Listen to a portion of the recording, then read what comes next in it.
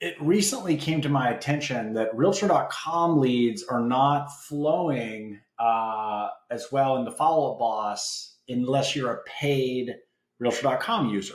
So there is a solution for this. There's two ways to do it. I'll run down what's probably the easiest and mention the second. Um, but you want to be here in your realtor.com dashboard.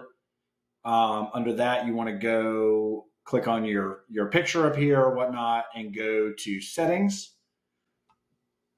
Under lead settings, there's an email notification for um, for new leads. And if you're not paying, you get profile leads or courtesy leads, but you're not going to be getting what they, I believe, still call solutions or the paid um, ads. But if you still get realtor.com leads occasionally and you want them to come into Follow Boss automatically, it's a really simple change. So you come here under profile leads and you hit change.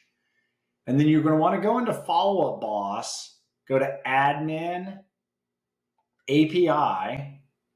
And there's going to be an email address down here that's your Follow Up Boss email address. This is not an email address for sending emails back and forth, but it is for processing or parsing leads that come to you by email.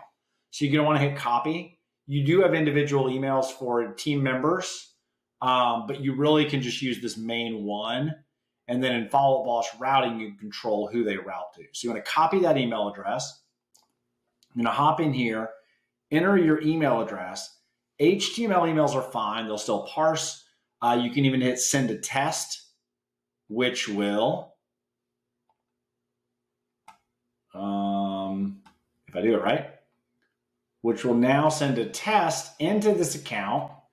And you can see I've got it in blur mode, but it just created a new lead flow called realtor.com.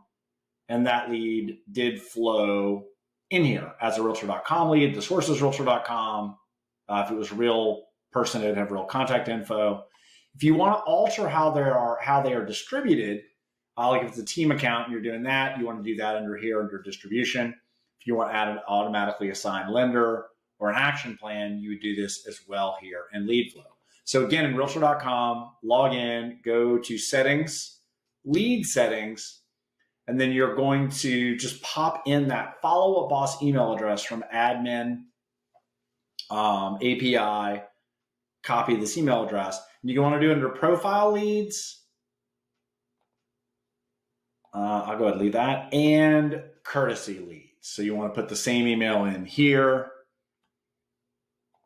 I'll do the exact same thing. Hit send test. Now this should actually come through the same lead flow versus creating um, a new one. In fact, what it's going to do is just append the uh, existing record because it sent the same test lead info.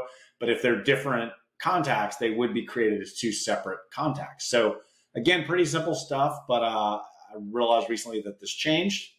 So I wanted to make an updated video on it.